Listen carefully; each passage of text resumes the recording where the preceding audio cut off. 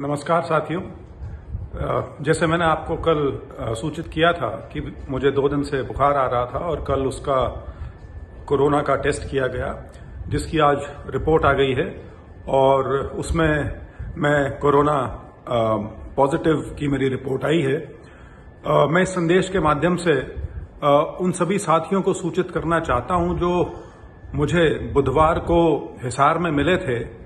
कि कृपया करके तुरंत अपने निकटतम अस्पताल में या अपने डॉक्टर से संपर्क करें, परामर्श करें, और किसी भी प्रकार का लक्षण है तो निश्चित रूप से अपना टेस्ट कराएँ।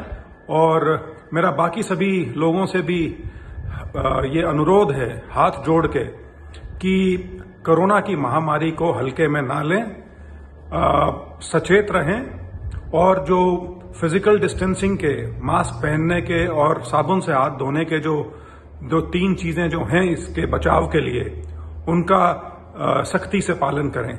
इसी में हम सबकी और हमारे स्वास्थ्य की भलाई है और मैं उम्मीद रखता हूँ कि आप सब स्वस्थ रहेंगे और इस, आपदा से हम जल्दी बाहर निकल पाएँगे। धन्यवाद।